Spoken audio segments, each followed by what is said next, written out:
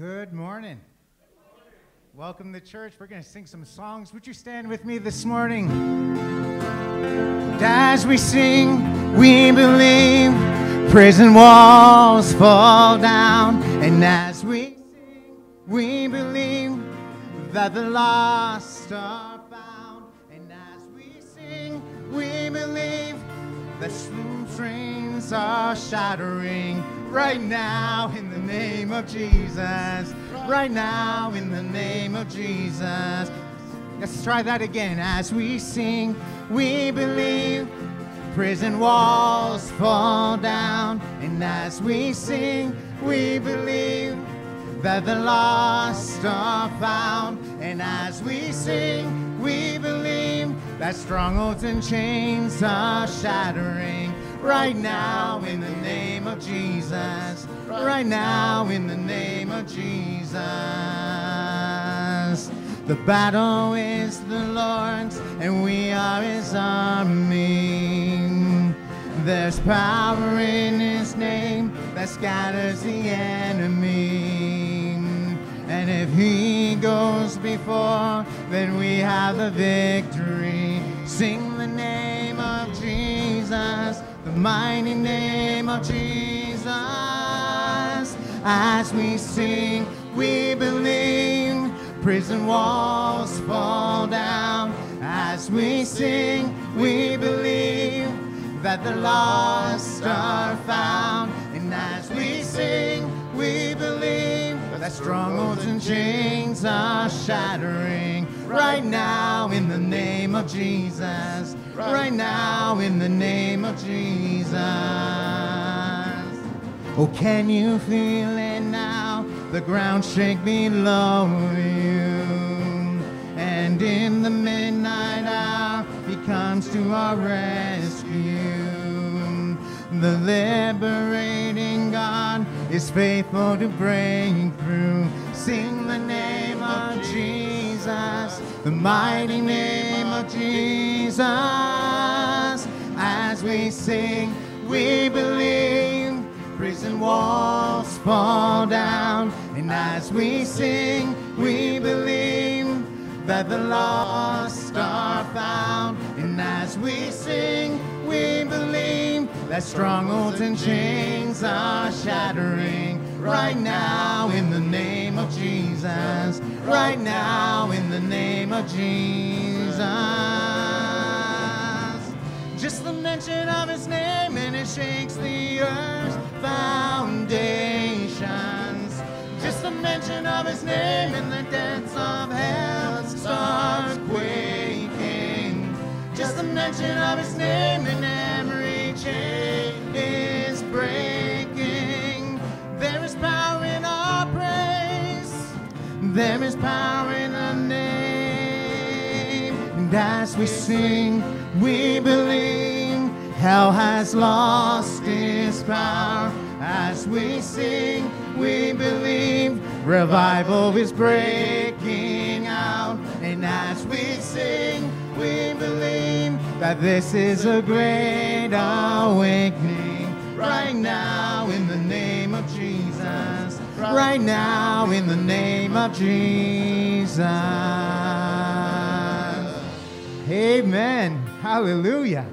You may be seated this morning. Praise the name of Jesus. God is good, isn't He? Hallelujah. Well, on behalf of the entire congregation of Elim, I want to extend a warm and heartfelt welcome to each and every one of you gathered here today. Whether you're familiar with uh, your, this is a first time for you, or you're just visiting, uh, we just welcome you and thank you for joining in worship with us. Now, I can assure you today, friends, that you are among friends. Amen. If you could do something for me, turn to the neighbor towards you and behind you and beside you. Give them a great big smile and tell them how happy you are to see them this morning. Hallelujah. Happy to see you guys. And for those online, we are happy to see you as well. how, many, how many people know that church is more than just a physical building? I think so, amen. It's a community of believers who come together to worship, to learn, to grow, and to support one another. I, I love Romans chapter 1, verses 11 and 12. He says, For as I long to see you, that I may impart to you some spiritual gift to strengthen you. That is, that we may mutually encouraged by each other's faith, both yours and mine. Oh, that's a good verse. The Apostle Paul begins this letter reminding the people how excited he is to hear that they're doing everything that they can to do church. Amen. That's what you guys are doing this morning. Doing everything you can to gather to keep the faith. Are you ready to receive from the Lord that spiritual gift you need to be strengthened? Uh, you're not alone this morning. I, want to remind you that you are surrounded by people who trust and believe in Jesus Christ. Amen. And so, to our visitors, both here and online, we want you to know you're not alone in your spiritual journey. Whether you're seeking answers or seeking solace or seeking a sense of belonging, we hope you will find it here with us today. And as you spend time with us today, we hope you will experience the warmth and hospitality that defines this community. So please feel free to approach anybody and just ask them, hey, what are we doing next? What's going on? What's going on this week? Can I take you out for lunch? You can take me out for lunch, amen? come on, come on. Anyways, we just want to make you feel at home here that Elim can be your home. So fill out that Connect card if you're a visitor this morning. Place it uh, in the offering bucket or uh, dish at the back of the church on your way out following the service. And once again, we pray that your time here will be a source of inspiration, encouragement, and spiritual growth. May you find a peace and a joy and a renewed sense of purpose in the presence of God. Let me pray this morning.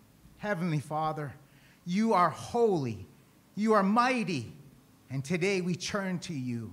We give you this space, we give you this moment, this time. We give you our, our attention, Father God. Help us as we look to you, to honor you, to respond to you as we lift up the name of Jesus for the world to see. We give you the praise and the honor and the glory. In Jesus' name. Amen. Amen. God is good, isn't He, friends? We're going to sing a few songs this morning. Oh God, you are my God. You can stand, and I will ever praise you. Oh God, you are my God, and I will ever praise you. I will seek you in the morning, and I will learn to walk in your ways. And step by step you lead me, and I will follow you all of my days. Oh God, oh God, you are my God, and I you. Oh God, you are my God, and I will ever praise you. I will seek you in the morning, and I will learn to walk in your ways. And step by step, you lead I will follow you all of my days. And I will follow you all of my days. Oh, I will follow you all of my days. And step by step you lead me, and I will follow you all of my days. Lord, we lift up your name.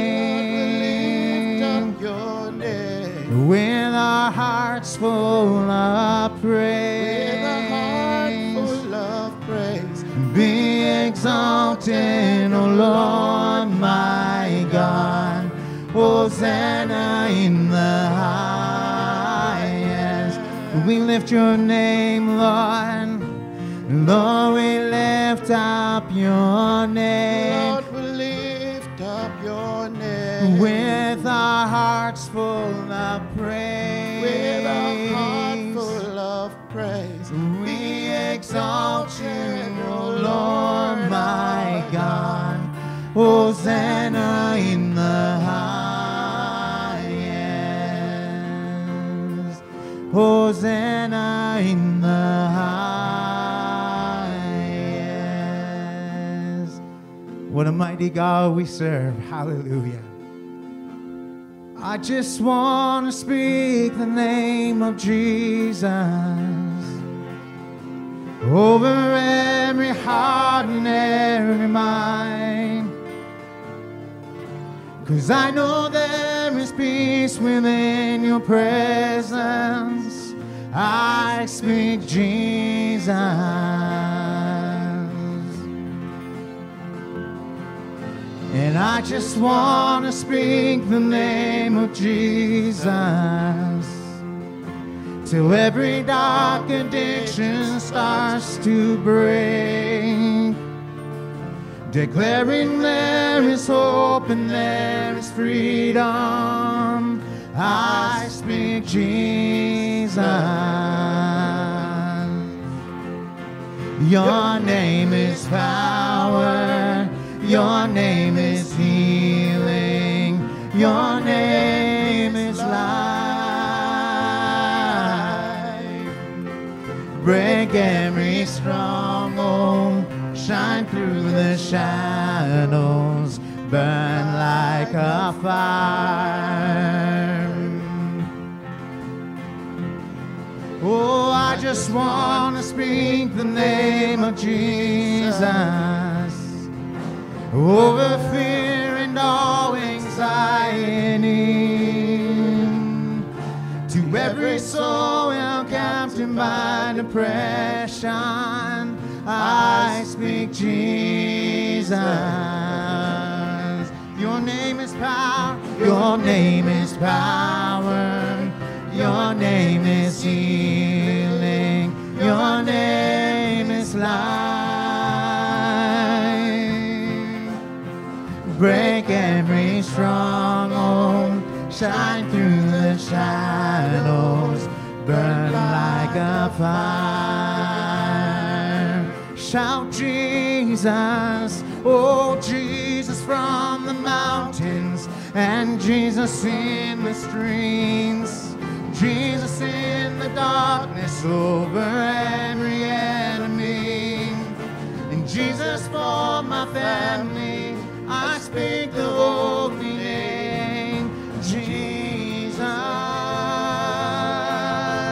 shout Jesus, oh Jesus from the mountains, and Jesus in the streets. Jesus over darkness, over every enemy. And Jesus for my family, I speak the holy name. Jesus, your name is power, your name is power, your name is healing, your name is life. Break every stronghold, shine through the shadows, burn like a fire.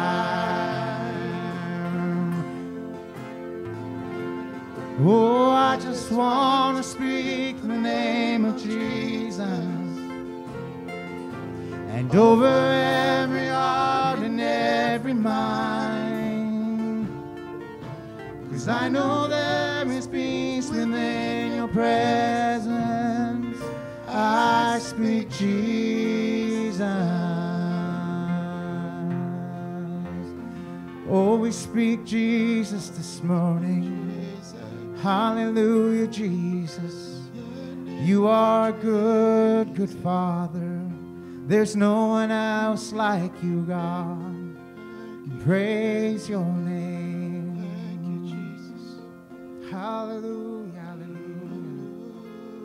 where the Spirit of the Lord is. There is freedom.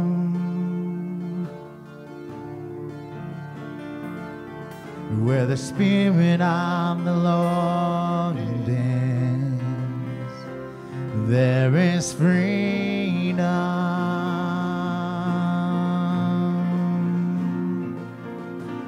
Lift your eyes to heaven. There is freedom.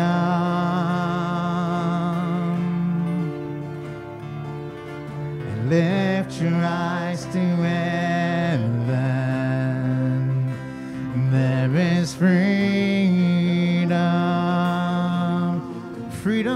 In this place. Freedom reigns in this place. Showers of mercy and grace falling on every face. There is freedom.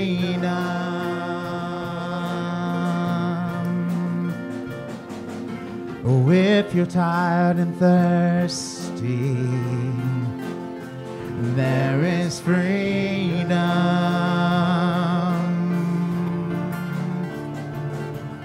And if you're tired and thirsty, there is freedom. Won't you give your all to Jesus? Give your all to Jesus. There is freedom.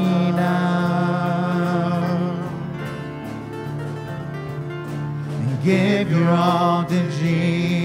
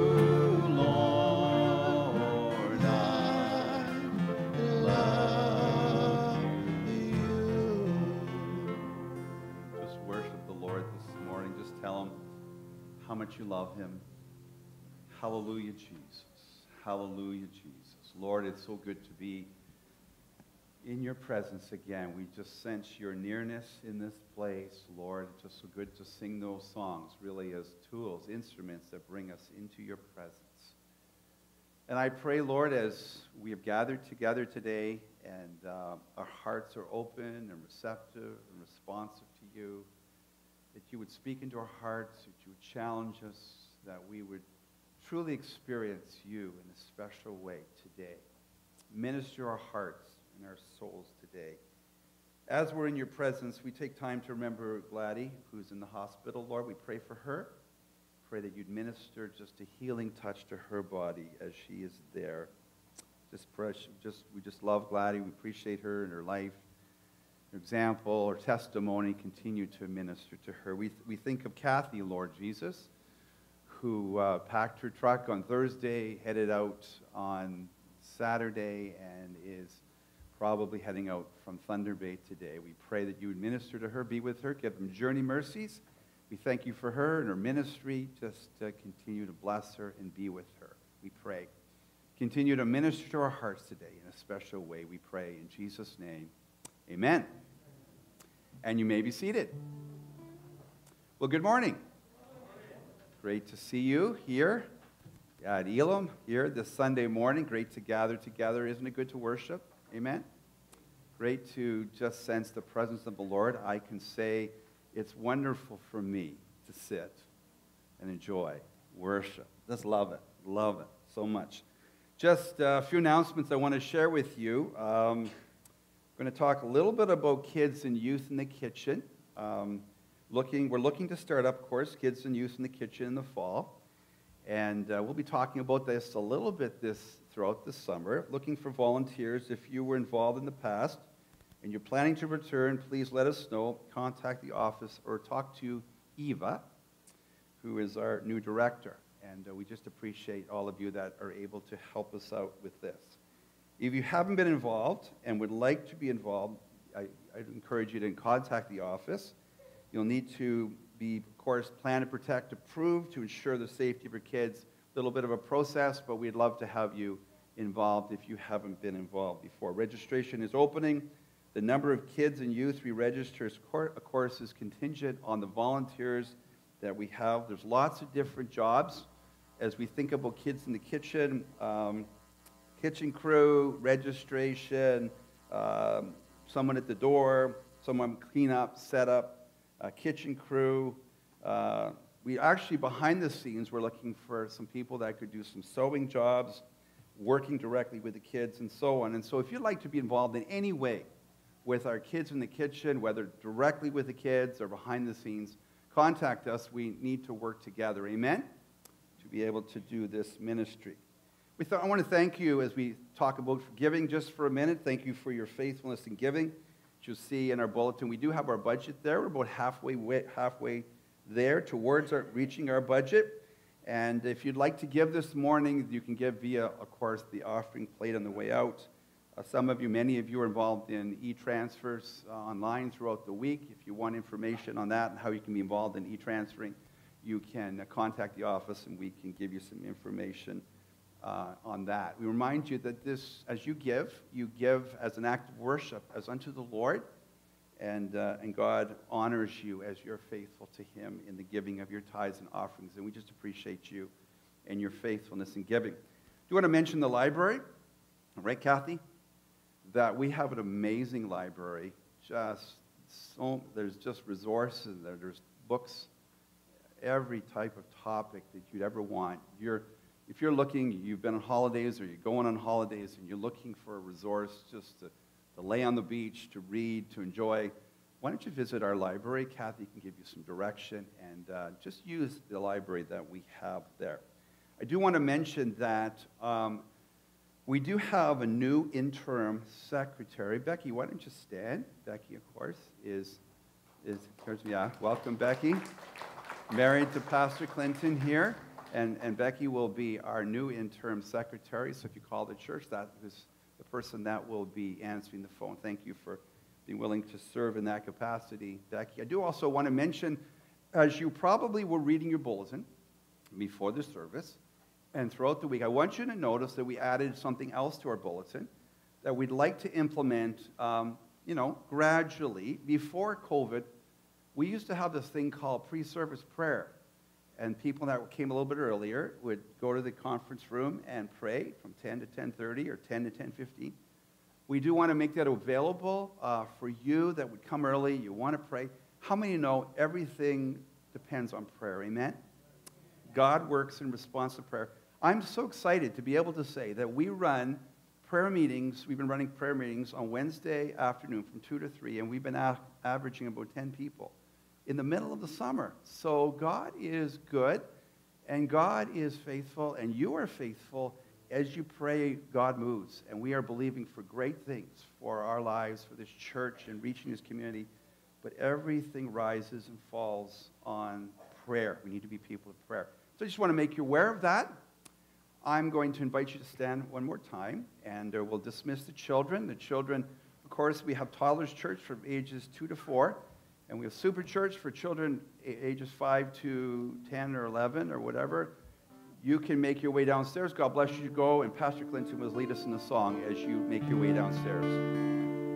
My beloved is the most beautiful among thousands and thousands. My beloved is the most beautiful among thousands and thousands. My beloved is the most beautiful among thousands and thousands. My beloved is the most beautiful among thousands and thousands. Yeshua.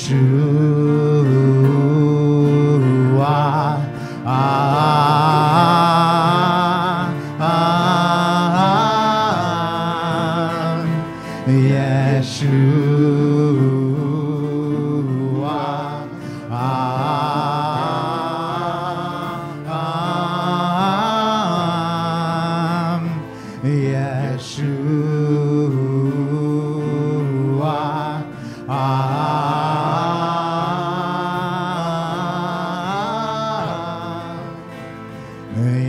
Yeshua.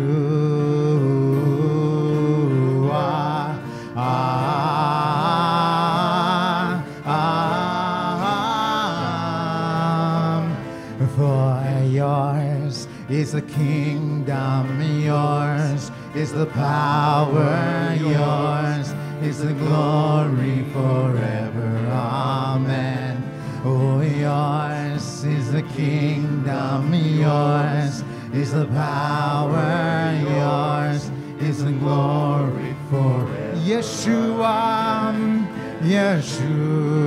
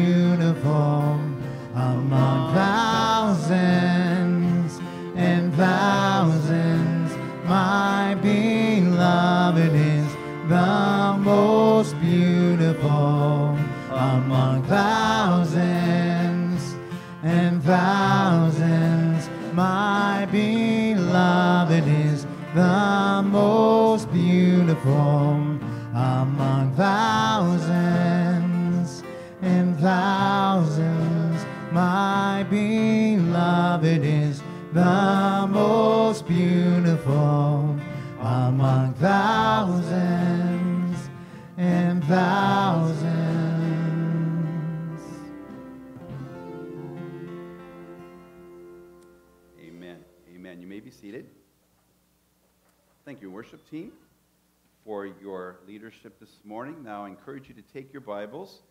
And also, if you've obviously received a bulletin, you have the scriptures that we'll be walking through this morning in the time that we have. And also, scriptures will be up on the, on the PowerPoint as we walk through our message today. I was thinking, I was going to entitle my message today Life Lessons. Um, because what I share with you today are lessons that we all need to learn. And like I would say, any lesson learned, we can either learn a lesson eas- the easy way or what? Or we can lose it the hard way. We can lose it the, learn it the easy way or the hard way. I- would hope that by listening to this message and practicing what we're ta- talking about today, that we would learn some of these lessons the easy way. I've discovered from pastoring that many people either have not learned these important lessons or they've learned them the hard way. And so you say, Pastor, what lessons are you talking about today? Well, follow me today as we walk through these scripture verses and we walk through some things that I think are vital for our life in our Christian faith, in our walk. Let me ask you a question. How many of you have ever noticed that some people change, and not always for the good, when they experience a little bit of success? Anybody notice that? People change, not always for the good, when they experience a little bit of success. They get a little extra money that they didn't have. They get a promotion. Maybe um, when they've reached their goals, they, they begin to change. And you say, Pastor, how do they change? Well, many different ways. Uh, sometimes I've discovered when people uh, experience some success, some money, a position, sometimes they get a little bit arrogant, proud. Um, I've discovered in dealing with people that when people sometimes reach a place of success, maybe they don't need you as much as they used to need you. And definitely, I've discovered from observing that when people experience a little bit of success in life, they, for some reason, don't have any need for God. No need for God. Maybe as they've walked through the challenging times, they've leaned into God, but now that things are pretty good, they, well, they don't really need time, they don't really have time for God.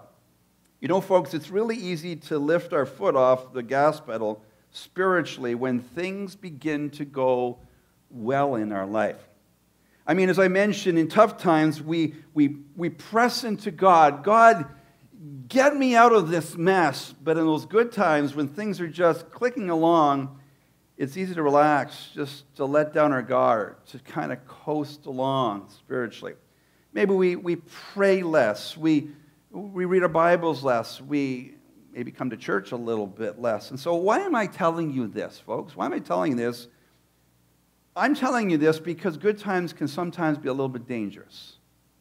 They can be a little bit dangerous. This happened to David in the Bible. I'm going to talk a little bit about David today. There are two big stories that we think about when we think about King David in the Bible. One is his big success, and his big success, of course, was David and Goliath. We all know that story.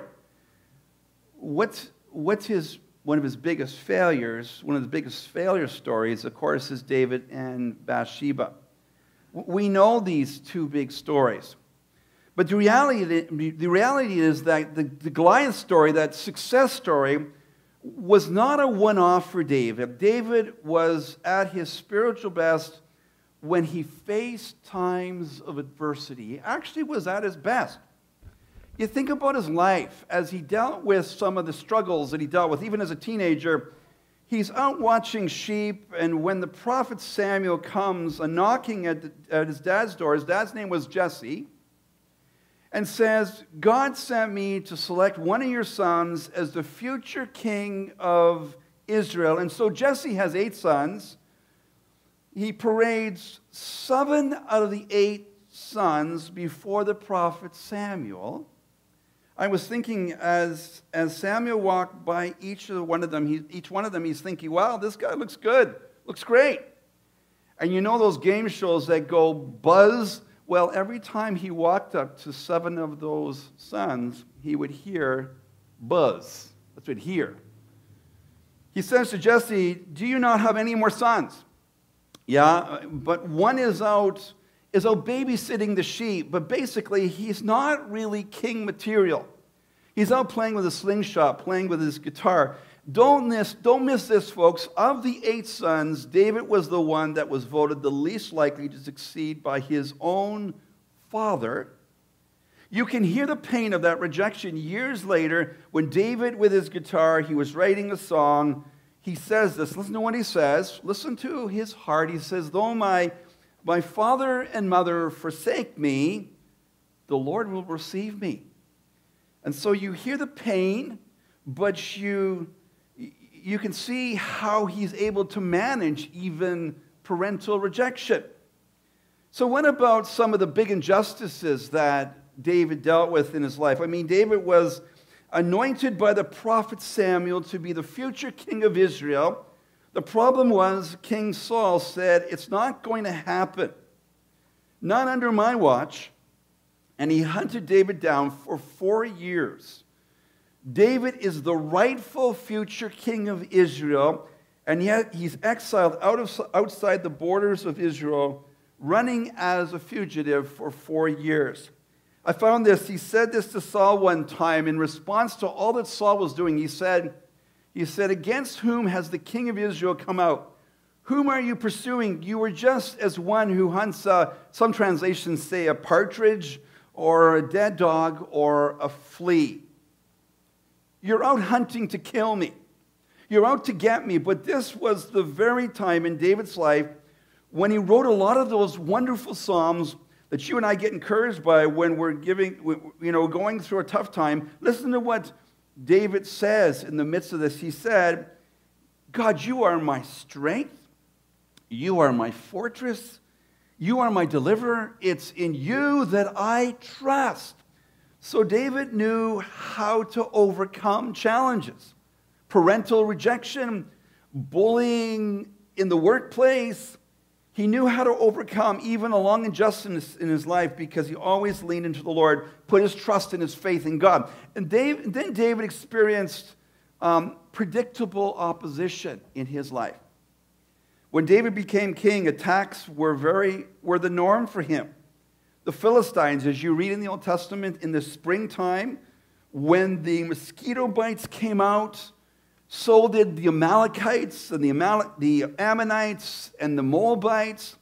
And David would say, in response to dealing with his enemies, he would say things like this He'd say, The Lord is my light and my salvation. Whom shall I fear?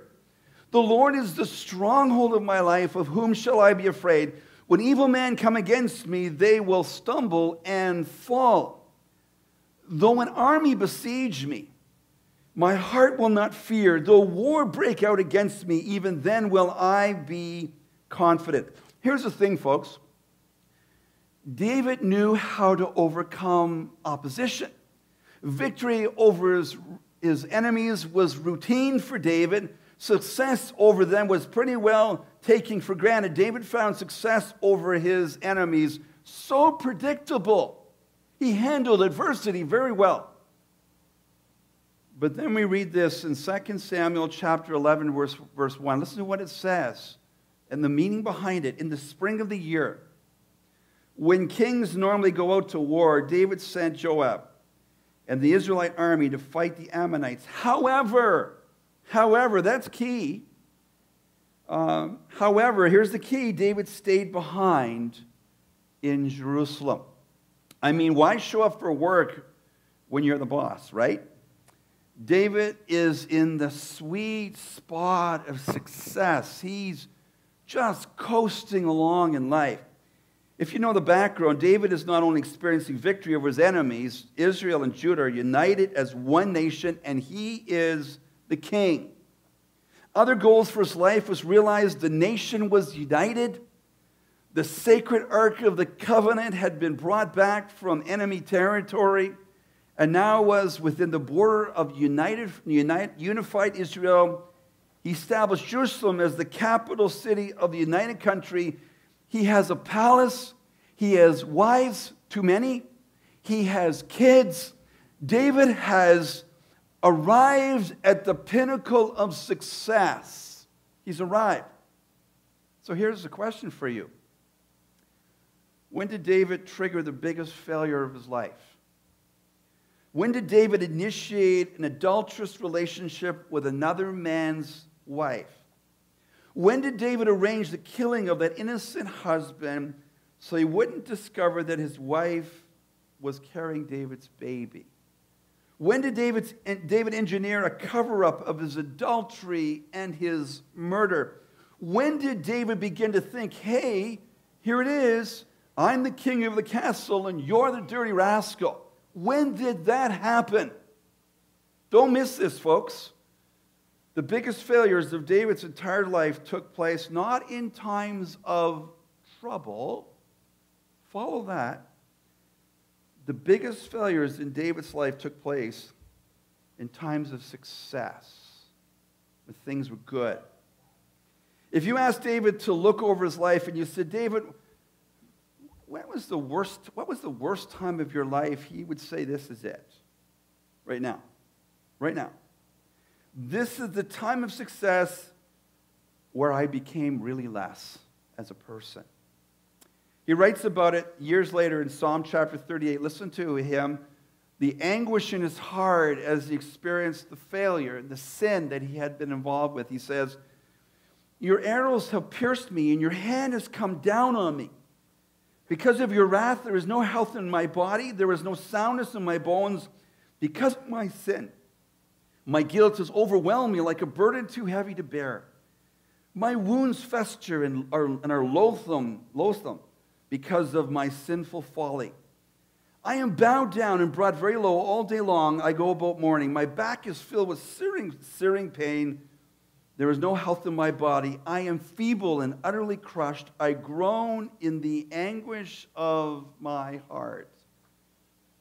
Folks, as you track this story with David, during this time, out of God's mercy, God sends his prophet Nathan to David to tell David a story. You know what the, do you know what the story was about? The story was about, it's about the abuse of power. It's like Nathan, sent by God, tells David a story. It's like he's holding up a mirror to David's face. He's saying, Here's the story. Now look at you.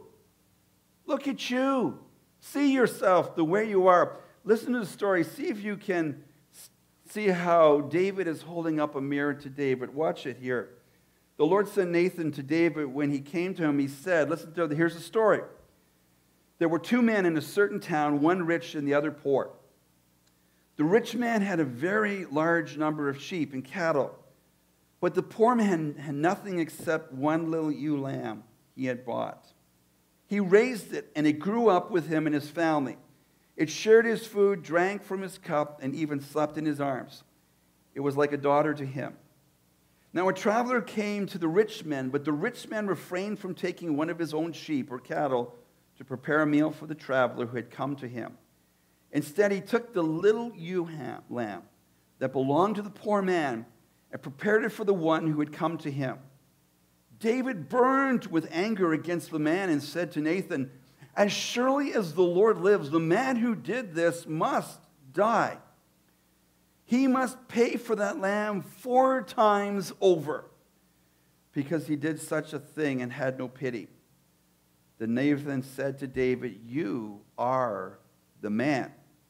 This is what the Lord, the God of Israel, says I anointed you king over Israel and delivered you from the hand of Saul. Did you notice how angry David gets when he hears that a rich man took advantage of a poor man? You notice how angry he gets. Why is David's reaction so far off the charts in reaction? I would say, have you ever noticed how what bothers us a lot about other people is so often what we see in ourselves? Nathan is just holding up a mirror to David. David's abuse of power. He says, David, you are that man. You're the guy in the story. You know, as we read a little bit further, uh, further in the passage, there are two things I'd never seen before. But listen to what it, what it says a little bit further in 2 Samuel chapter 12, verse 7 and 8. Then, then Nathan said to David, You are the man this is what the Lord, the God of Israel, says I anointed you king over Israel, and I delivered you from the hand of Saul. I gave your master's house to you, and your master's wives into your arms. I gave you all Israel and Judah. And if all this had been too little, I would have given you more. Would have given you more. There are two things that I've never seen. Here are the two things I've never seen in those verses. The first thing is how painful this was to God to see what David did. Can you hear the pain in God's heart? David, was it not I who chose you? David, I saw you when you were alone with your guitar and your slingshot. I chose you. I anointed you. I'm the one that allowed you to rise to the place that you're at now. I gave you the united kingdom, and if that was not enough, David, I would have given you more. So you feel the pain in God's heart with the failure of David, but also you hear what God says. God says, I wanted to do so much more for you. And you think, what kind of things, what else could God do? Well, David always wanted to build a temple, he couldn't build a temple.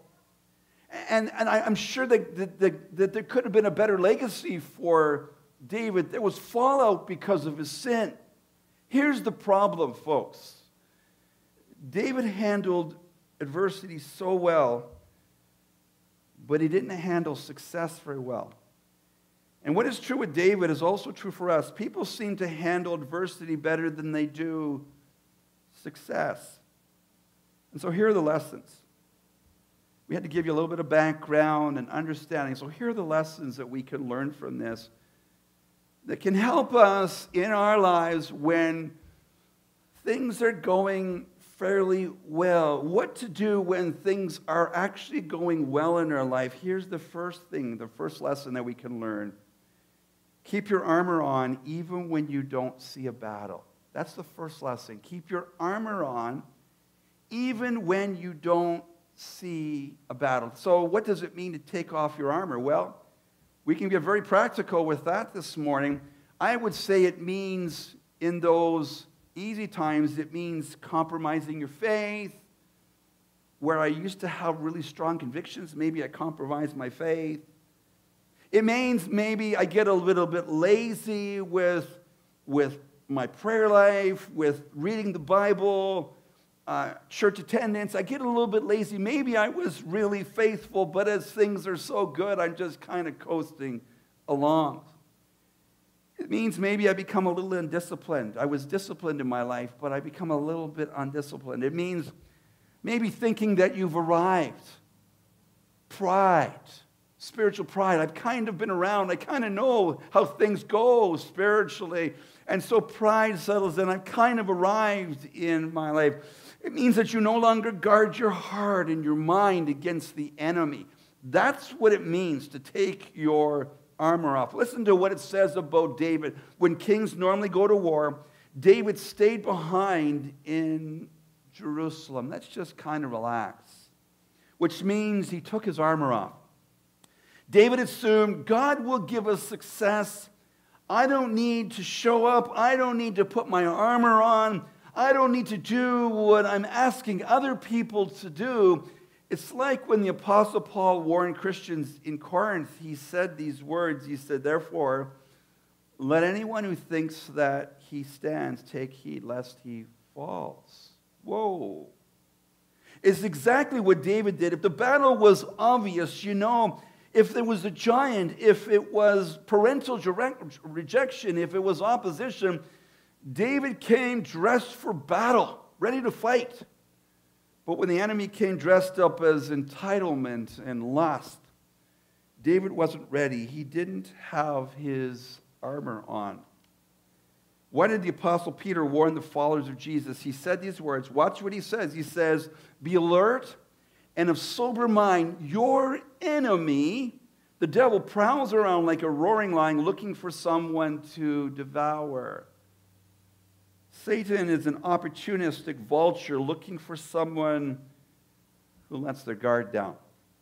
Someone who is going through maybe a good time and is kind of beginning to coast and relax a little bit.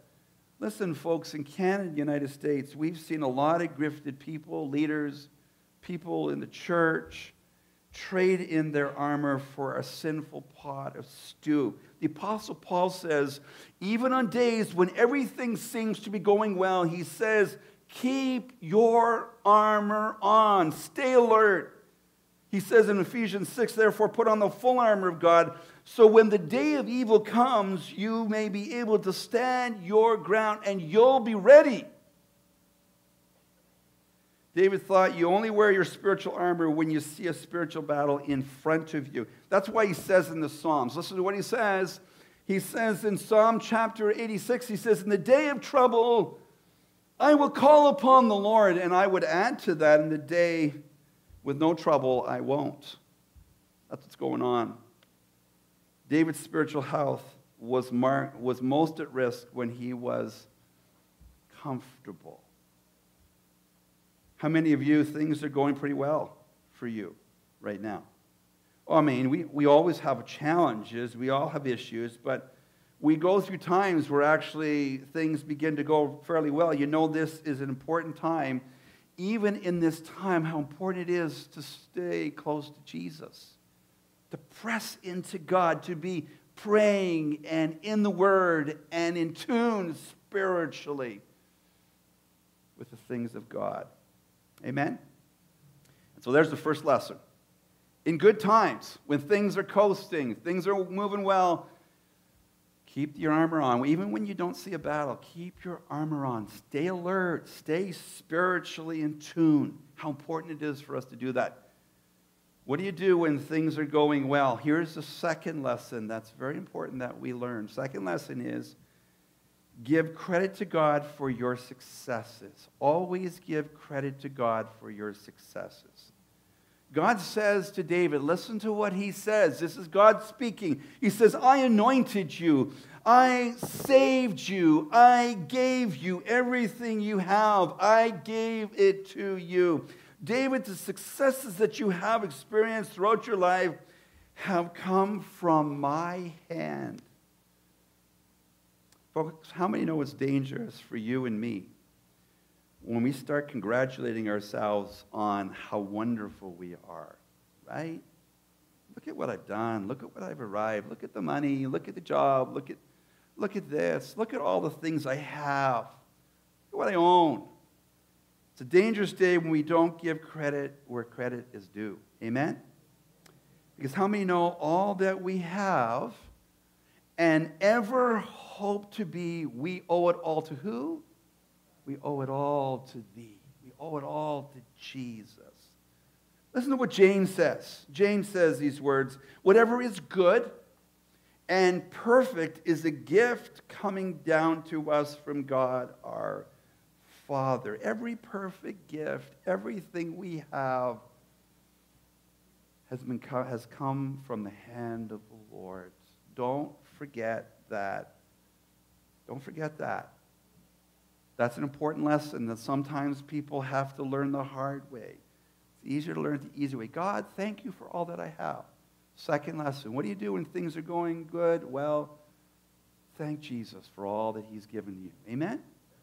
Here's the third lesson. When things are go, get, going well, folks, get ready for God to do more. That's the third lesson. Get ready for God to do more. David, I wanted to do so much more for you. Remember that? And so I, w- I thought, I asked myself the question why didn't God do more? I would say God didn't do more because David got in the way of the more that God wanted to do. David got in the way. Listen, there's an application for every one of us here this morning. And hear me very closely on this. You and I can miss the more because of the way we handle the already has. God wanted to do more. But David wasn't in a place spiritually where he could handle more. His armor was off. He wasn't recognizing that everything he had had come from God. I believe we need to position ourselves for the more that God wants to do, not only through you as a person, but through us as a church. I think when things are going well in your life, maybe you've reached your goals attained some sort of success, you're feeling kind of good, I think we become a little bit vulnerable. It's easy to let down your guard, to relax, to coast. We can do that as people, but we can also do that as a church. We can do that as a church. I just think about where we're at as a church. We worked hard at setting vision, uh, raising the funds, bringing in a new intergenerational pastor now we can just coast along and let him do all the work, right? There's a dangerous thing. That's a dangerous thing, and there's a, a dangerous time that we can walk into and, and, and not realize that God has brought us this, this far, and we need to realize that He has so much more, right? And that Clinton can't do it all himself we need to work together. God has so much more. And so we need to keep your armor on even when you don't see a battle. You need to give God credit for everything that you have. And we need to get ready for God wants to do so much more. Here's a quote to think about. Here it is. You ready for it? It says, We need to turn our arrival points. We've come to a certain place into a launching pad into the future. We've come to a certain place of the church, but that's just a launching pad for where God wants to take us. Turn your successes into more success. Listen this morning, in your successes, God always wants to do more. He always wants to do more and, and you can interpret that physically or whatever. I really think, you know, there's lots of things that God wants to do in your life. I, am speaking spiritually this morning. Listen to what he says to the prophet um, Jeremiah. He says, watch this.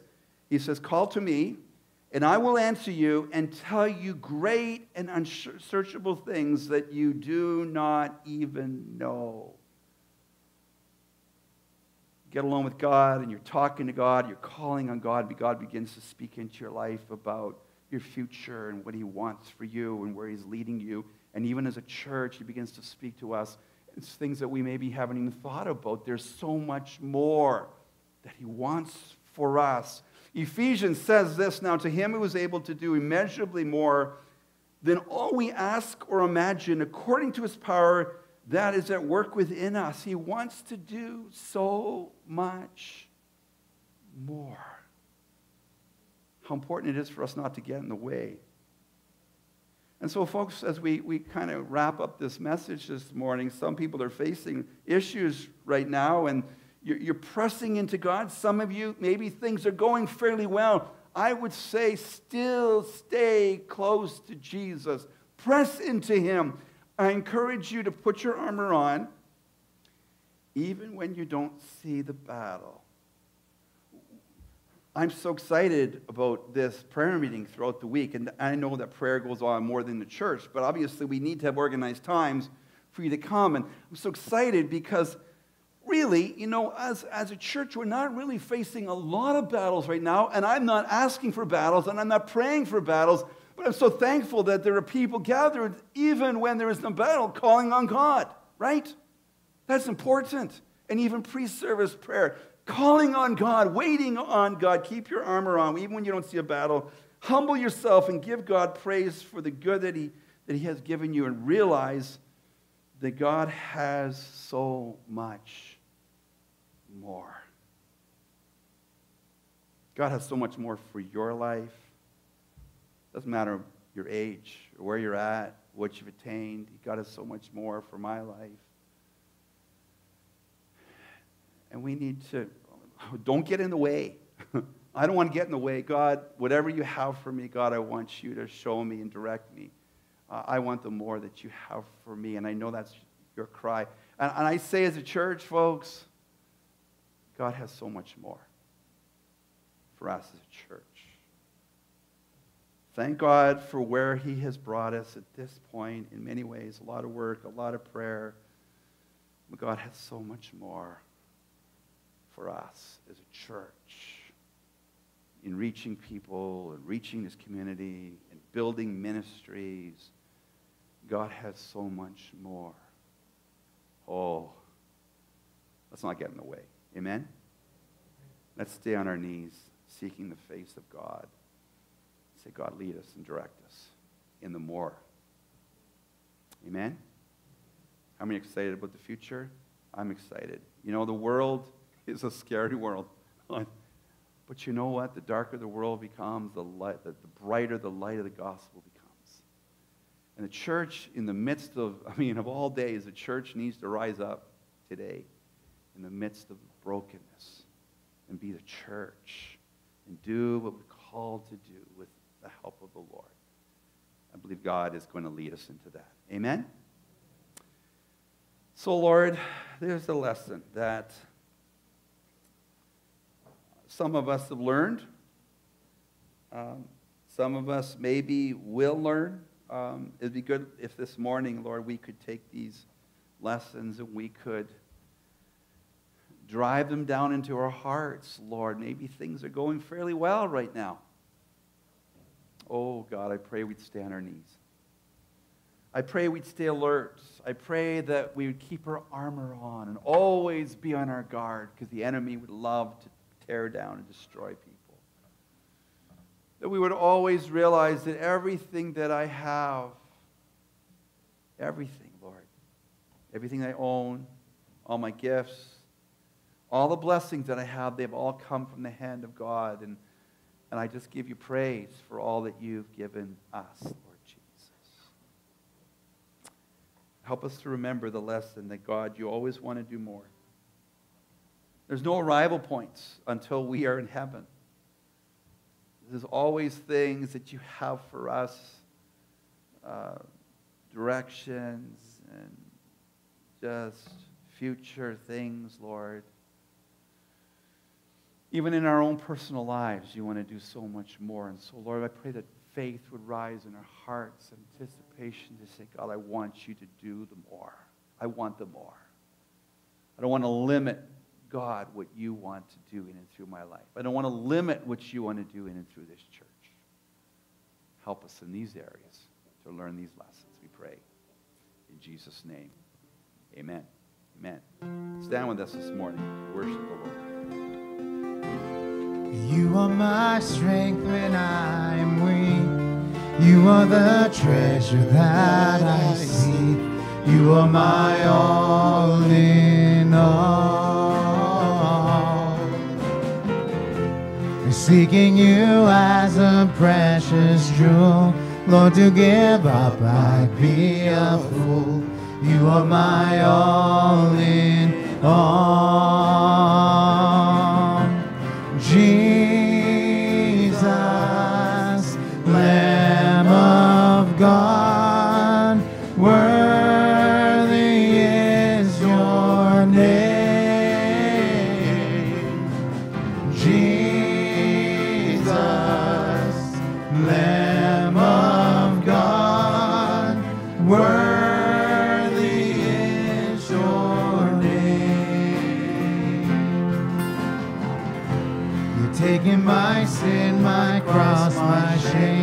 Rising again, I bless your name. You are my all in all. And when I fall down, you pick me up. When I am dry, you fill my cup. You are my all in all.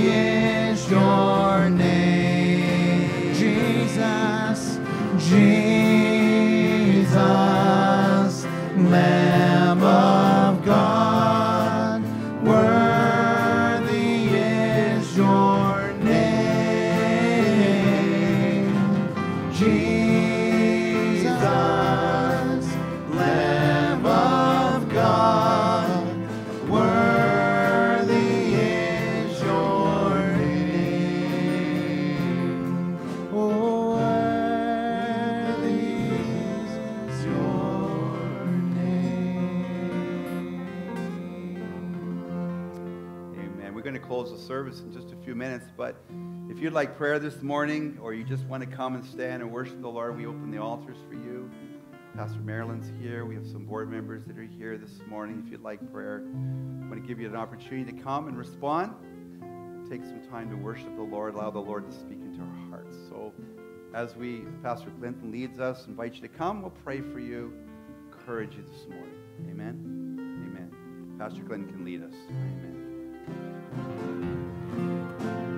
Jesus, oh Jesus, Lamb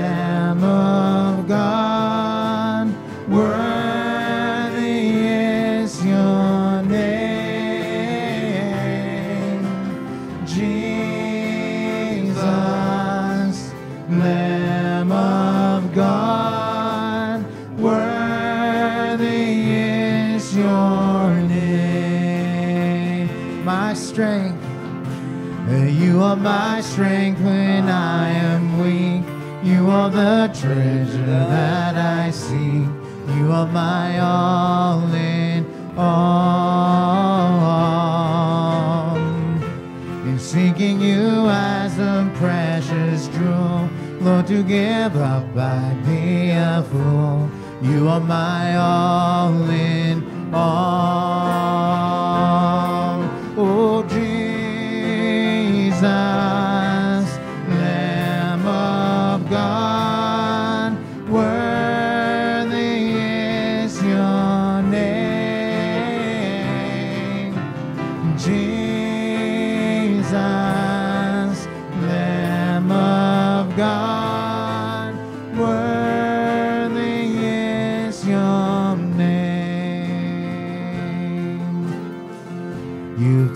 My sin, my cross, my shame. Rising again, I bless your name. You are my all in all. And when I fall down, you pick me up. When I am dry, you fill my cup. You are my all in all.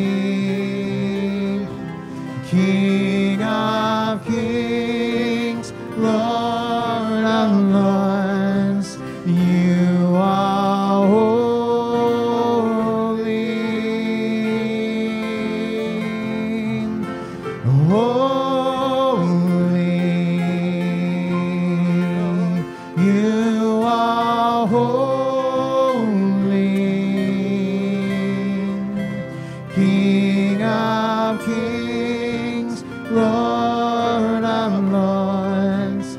I worship you. Sing his name, his name is Jesus. You are Jesus.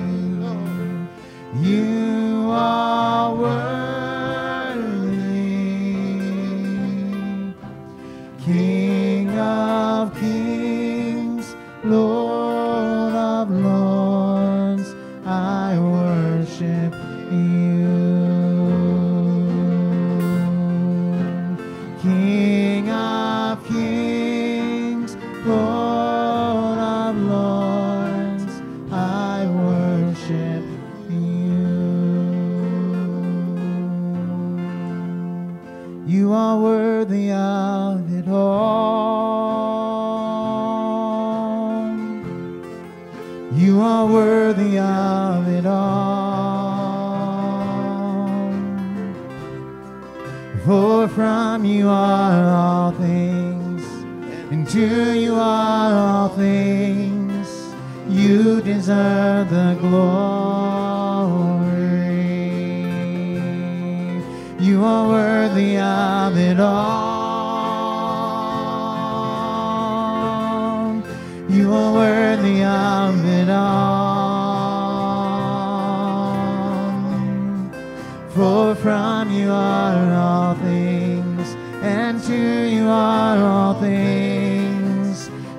deserve the glory. Worthy, you are worthy of it all. You are worthy of it all. For from you are all things, and to you are all things. You deserve the glory.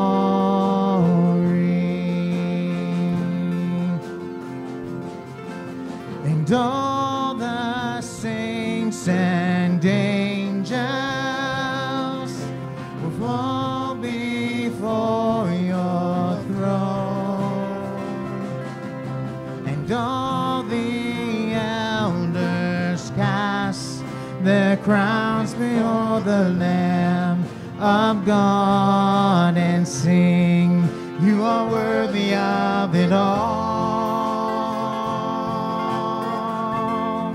You are worthy of it all. For from you are all things, and to you are all things. You deserve the glory. For from you are all things, and to you are all things. You deserve the glory.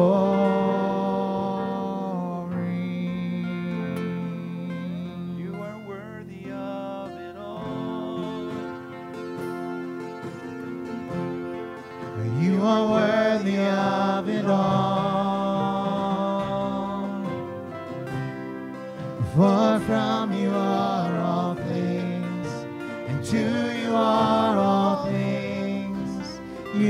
Deserve the glory.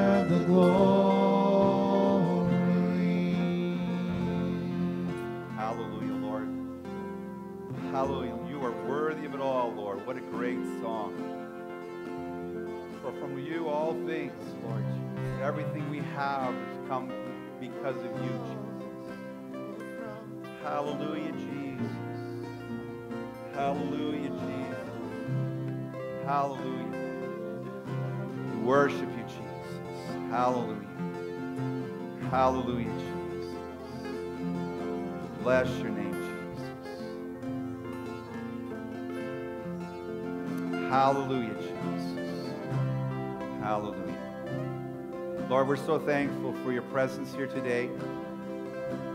From the very first song, we just just sensed your presence. We know you're with us at all times, but Lord, it's good to get together and worship. Thank you for being so faithful this morning in this service, ministering to our hearts and our lives and worship. Thank you for these lessons that you've reminded of us of today. I pray that as we leave this place that we would remember these lessons, Lord, very important things in our life. That we'd be able to go on and not get in the way of what God wants to do because you have so much more for us. Thank you for that. Bless us today. Bless us as we leave this place. In Jesus' precious name. Amen. Amen. God bless you and have a great day. Great seeing you.